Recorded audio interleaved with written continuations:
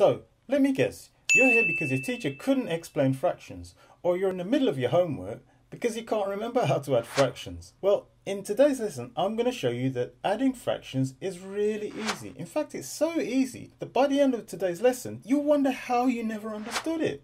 There are three simple steps to adding similar fractions. The first two are very easy. In step one, you add the numerators together, and in step two, because the denominators are the same, you keep the denominator. Then, for step 3, you simplify the result. Now this step is a little bit harder, but don't worry, I'll show you how to do it. It's really important to simplify because you'll lose marks if you don't do this important necessary step. Okay, let's take this example. 1 over 5 plus 2 over 5. You can already see that they have common denominators. The denominator 5 is the same for each fraction. So all we have to do is the first step, which is add the two numerators, that's 1 plus 2, which gives us 3, and then keep the denominator, which equals 5. So 1 over 5 plus 2 over 5 equals 3 over 5. That's the addition part. Simple, right? But teacher will want a simplified answer. You simplify because it expresses the fraction in its simplest form, and your teacher wants to know that you can actually do this necessary step. Here's what to do. Find the largest number that divides numerator and denominator of the fraction, and then divide both by that number.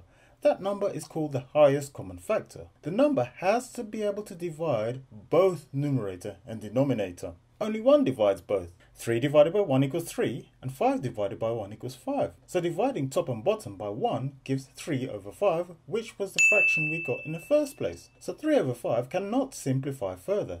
That's our final answer. Let's take one more example. 1 over 8 plus 3 over 8. You can immediately see that both these fractions have common denominators. 8 is common to both fractions. So all we need to do is the first step, which is add the numerators, that's 1 plus 3, which gives us 4, and keep the denominator, 8. So then that gives us a fraction 4 over 8. So 1 over 8 plus 3 over 8 equals 4 over 8. Easy, wasn't it?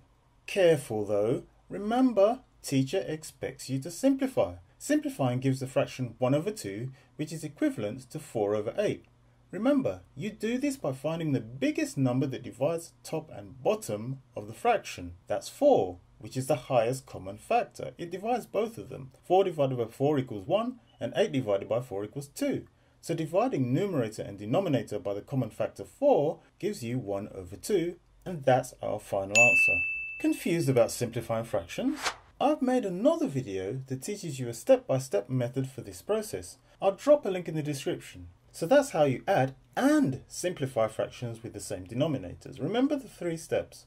Firstly, you add the numerators, and in the second step, because the denominators are the same, you keep the denominator. And then with that result, you go to step three, which is you simplify the resulting fraction by dividing the numerator and denominator by the highest common factor. Well, hopefully you were able to see how easy it is to add and simplify fractions in today's lesson. If you have any questions, please ask me in the comment section.